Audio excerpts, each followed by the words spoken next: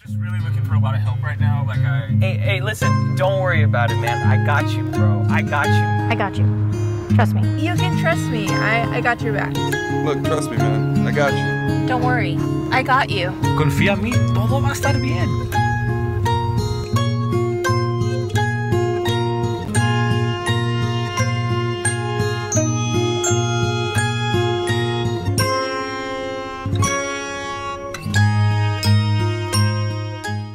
Today we start the new series, Trust Issues.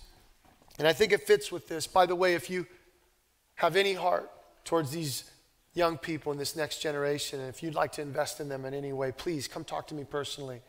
We're going to work on building teams and building those who can help us minister.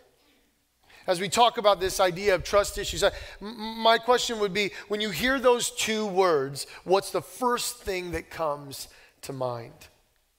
Maybe for many of us, it's the media, politicians, leaders, those in power, but truthfully, it could be your spouse, your kids, family, friends. What is it for you? For some of us, we could be sarcastic about it. We can joke about it all day long, but the truth is, is that it causes a lot of hurt and a lot of pain. Trust is tough and something that many of us don't talk about very often. We're headed to Tennessee for my granddaughter, granddaughter number two's first birthday.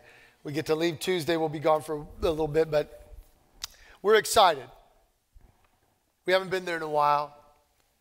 It was a big part of life. We lived there for four years and got a lot of friends. My brother and his wife and kids are there. And um, honestly, I miss my kids. Granddaughter number one, Adeline, she lived with us for a year and a half. And I can't tell you how many nights I got to rock her to sleep. For some reason, Grandpa knew how to do it. But I miss them. And so we, we've been talking about trying to make it happen for a while. And honestly, we were kind of feeling like, ah, just wasn't going to work out. Just too much stuff. Just, uh, just we'll, we'll figure it out another time. And well, we did everything we could and we worked it out. So uh, a couple weeks ago, my wife and I were looking at flights and without going into all the details, we, we couldn't use our Southwest points. And so we were looking at the best price flights. And uh, anyone want to guess what airline we're flying? Yeah, of course, of course, you heard it. Everybody knows. Everybody knows. Anyone order a Cybertruck off Temu yet? No, of course not. So, but, I mean, here's the thing. We've flown Spirit before. My wife said, never again. If, if you work for Spirit or if you're involved in Spirit Airlines at all, please do not take this personal. We're getting somewhere, all right, here. Um, but what's the problem? What's wrong with Spirit? I'll tell you, we don't trust them. Honestly, right? We don't trust them. We don't trust that we're going to have a good experience. We don't trust that it's going to be comfortable. We don't trust that everything's going to go the way we hope it will. Why? Because maybe we've heard from others. Maybe they've failed in that area, or so we say, so we think. And arguably, maybe they have that reputation of doing so again and again, and it is what it is. Prime example of what you get what you pay for. But let me pose a question to think about as we walk through this idea of trust issues. How do we separate someone from something? I think that's one of the most difficult things. Is to separate someone from something. And in all honesty, separating a person from their mistakes, a person from their sins, a person from their weaknesses, shortcomings, you name it, is very, very important. See, if I don't want to be identified by my mistakes or my failures, or God forbid, my weaknesses, I should easily be able to treat others the same way I want to be treated, right? Not so fast. What about when others don't treat me in that same way?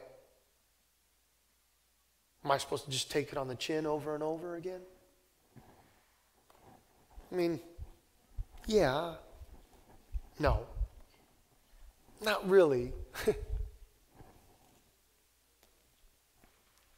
That's why we're here right now. How do we handle our trust issues? Some very, justifiable and personal. In Proverbs chapter 3, verse 1 through 6, it says this My son, do not forget my teaching, but keep my commands in your heart, for they will prolong your life many years and bring you peace and prosperity. Let love and faithfulness never leave you. Bind them around your neck, write them on the tablet of your heart. Then you will win favor and a good name in the sight of God and man. Trust in the Lord with all your heart and lean not on your own understanding, but in all your ways, submit to Him, and He will make your path straight. Let's break it down for just a second. Proverbs 3 says, His commands, teachings, will, way, however you want to put it, keep them in your hearts. And what? You'll have a long life of peace and prosperity. Now, we obviously know that God's not here to just make us rich and just keep on blessing us with a whole bunch of prosperity and prosperity. That word can mean many different things. But he says here, you'll have that life if you keep my ways. Also, let love and faithfulness be with you always. And here, listen to this. Then you will find favor with both God and man. Imagine that. Imagine following Jesus, being a little bit like him, doing our best to be like him, and, and finding out that, wow, that really finds favor with God. So he's blessing me in the ways that he says he will. But not only that, but I'm finding favor with those around me. Can I tell you something? The more I look and act like Jesus, the more I find favor with those around me. Anybody else feel that way? Anybody else see that? Now, there's a lot of different interpretations of looking and acting like Jesus, but it's all in the Word. Some of us think that the, the turning tables Jesus was the one. Well, hey, you know, sometimes we got to do that. He did it once. I mean, it, there, there's one time, and it was very specific, and there was a strong reason for it. Who's the Jesus that we're representing? What do we look like? Are we finding favor by acting like Him? I mean, in all honesty, I feel like there's the answer to our trust issues. Let love and faithfulness be with you always, then you will find favor with both God and man. Done. We got to finish. The best part's coming. It says, trust in the Lord and don't try to understand it. Simply put, see, the understanding we have is based on what? Experience. What we've experienced, what we've been through. And since we're failed constantly, forgive us, Lord, for not trusting you, right? That's kind of how we feel. Well, I got an issue with trust, so I mean, it's really hard to trust in God. That's exactly why he says, don't do that. Don't try to figure it out. Don't try to understand it because you will not. You will see this this way, and you will see me the same way. Can I tell you something? Our failure to trust is the only way to trust in Him. Failure to trust what we've experienced from those around us as how He's going to treat us. Just because we've been failed so many times doesn't mean that He's ever going to fail us. But yet, sometimes it feels like when we're failed, it's Him, right? But it's not. It's someone else who's been failed. It's someone else who's struggling, who also is dealing with trust issues.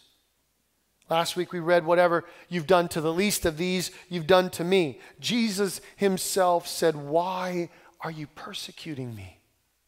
Man, that would hurt. It really would hurt if Jesus said that to me. Why are you persecuting me?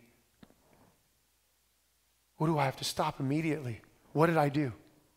But yet it might be a little bit more common than we think. There's only one thing that we can truly trust in and out of this world, and it's Jesus. It's God, it's the Holy Spirit that lives within us. This world will always fail us. You can't trust anyone, but you'll never be able to live that way. Even the absolute best this world has to offer will fail us. We all will. not God. That's what he's trying to say here. Stop looking at that as your example. Look to me. Let me be your example. It'll change the way you see those around you, and you might find favor with me and them.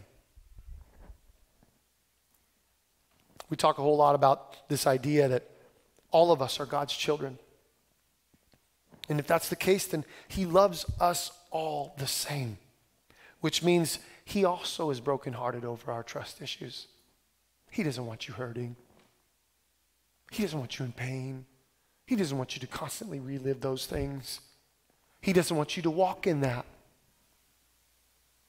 He wants you to walk with Him. He says, Stop trying to figure it out.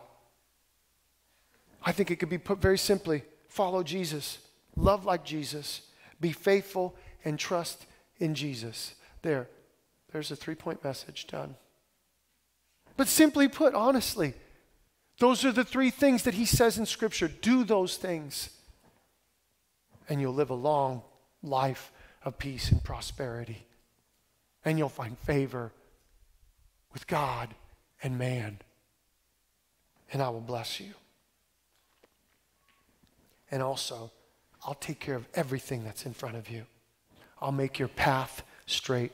This passage in Hebrew, that idea of path there, alludes to the path a king would take.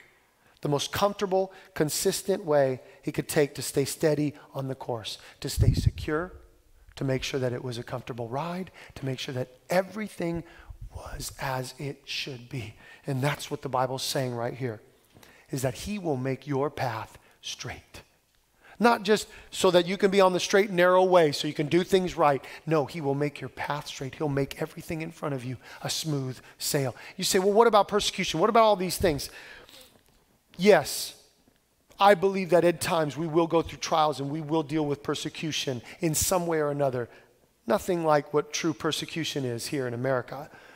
But the word says that if we act and look like him and follow him, that that's not necessarily what he's going to allow us to walk through. He says, I'll make your path straight. I'll make sure that things are okay in your way. God says, Trust me, and I'll take care of you. John 10, verse 7 through 11 says, Therefore, Jesus said again, Very truly I tell you, I am the gate for the sheep. All who have come before me are thieves and robbers, but the sheep have not listened to them.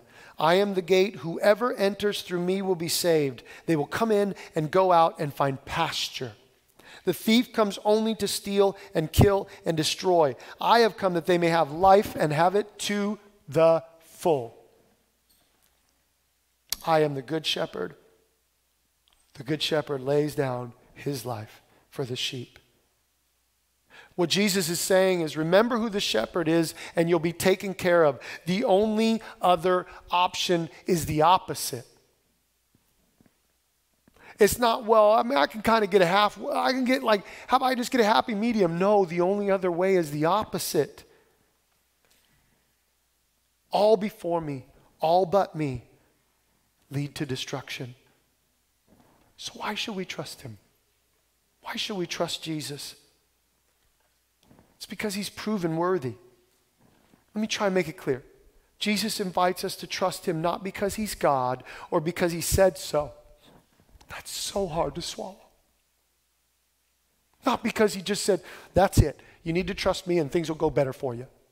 That's not the way God talks to us. Or because we feel obligated to, but because he's proven trustworthy by laying down his life for you and I, refusing to ever leave or forsake us, caring for our specific needs and showing us he understands how it feels to be us by becoming flesh becoming man and becoming us. He did all of this to restore his relationship with you and I. We were created for this very thing to see this life through the lens of Jesus, to follow him and walk a straight path. The kind of connection, contentment, and communion you were created for all require trust. And the truth is, Everyone in this world, even those we love most, will fail us. So, where is our trust? In Jesus. Why? Because He's the only one who can fix our trust issues. Some of us have gone to counseling for years, and it feels like it's not getting anywhere. What's happening? Don't get me wrong, please. There's absolute necessities in life. But sometimes we have to just surrender it to Jesus and say, you know what? I'll take the counsel as well, but God, I got to give this to you. I got to give this to you. Of course, I'm going to take counsel. Of course, I'm going to have a community that supports me. Of course, I'm going to find those who speak into my life. But I'm going to find you first.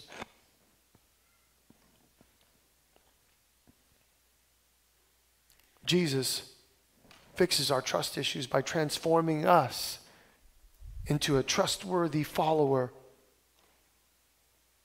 of Him, knowing that our hope our source, our identity, our worth, our value, and purpose are all found in Him. It says in the scripture we just read, and you will find favor with God and man. You want to work on trust issues? Work on trusting Him. Work on trusting Jesus. He'll take care of it from there. The church is a community. None of you are alone. We're here together doing the same thing, pursuing what God has for us right? Everybody's got a little bit of a different interpretation of that, but that's why you're here this morning. You're not here on accident. You're not here because, well, somebody invited me, so I just, I'm just, yeah, I'm just here, you know? No, you're here on purpose. God brought you here. He wants you to be a part of a community, whether it's this community or not. We need each other. We're created to have communion with not only God, but with each other. We're created to break bread with one another. Maybe, maybe we need to evaluate some things in life. Maybe we need to ask ourselves some questions. I'll tell you what. Ask a couple people close to you. Is it easy to trust me? Do you feel trusted by me? Why or why not? Whatever the answer is, Anything that's untrustworthy is because of something that's not His will in our lives. And sometimes we have blind spots. Sometimes it takes somebody else to say, hey, this is why. It's a whole lot easier when you ask, though, right? It's hard when somebody just wants to tell you where you're making mistakes. My hope is, is that's not what the church is. We're not here to tell everybody their problems. We're here to help people out of them. We're here to help people give them over to God. And the only way that anyone can do that is if they see you do it. It worked for you? Wow. Well, I don't even know what that means. I, I, I want to give it to Jesus. You know why I struggle as a father? It's not because I don't trust my kids, even though I don't trust them at all. It's because I don't trust the world around them. Right? Yeah, it's my problem too. But here's the thing that's my failure, not the world's, not theirs, and not God's. It's my failure. God calls us to trust Him. He's the barrier between the bad that could be and the good that should be. And unless we allow Him to take His place, we'll always fight that battle and we can't win. I was so frustrated one day earlier this week. I've shared with some of you a little bit about having some stomach issues and some things going on. And this week I started some antibiotics. And I'll be honest, I'm not a fan of taking meds. I'm not a fan of taking 12 meds a day. Now, it's not 12 antibiotics. I got a good doctor. Don't worry. We got a lot of people around us. Natural things, all the above. So, but all that to say, I don't want to do that. I want to do the right things, not have to do these things. But that's probably one of the reasons why I'm here today. It's because some of the right things haven't been done and hadn't done any of that either. So God can shake us up sometimes, but I was in the car with Alice, my three year old, headed to pick up Ann, our 12 year old, at school, and I wasn't talking to Alice. I don't know if I was just upset and she could tell. But all of a sudden, I hear her singing in the back.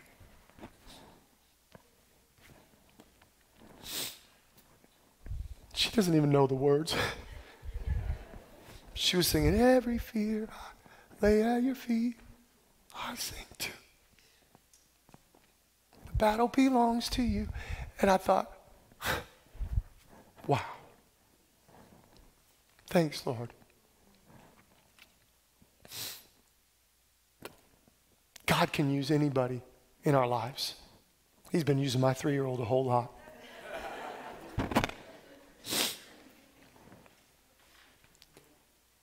Not only can he, but he will if we pay attention, if we listen. Second Chronicles 3 says, Do not be afraid or discouraged, for the battle is not yours.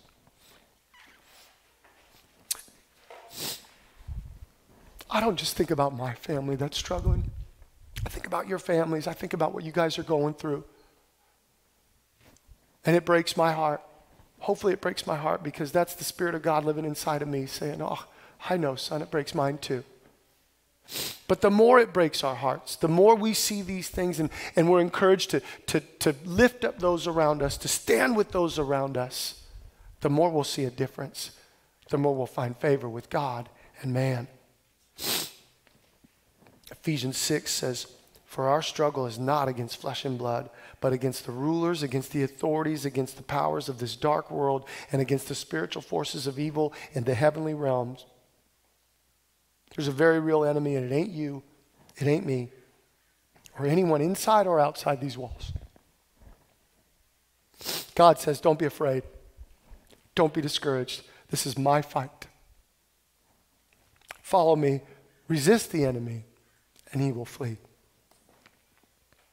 We're going to dive into some really simple ways of hitting this idea of trust issues over these next few weeks. And so I just encourage you join us, invite somebody, somebody who might be hurting, somebody who could use some community, some uplifting.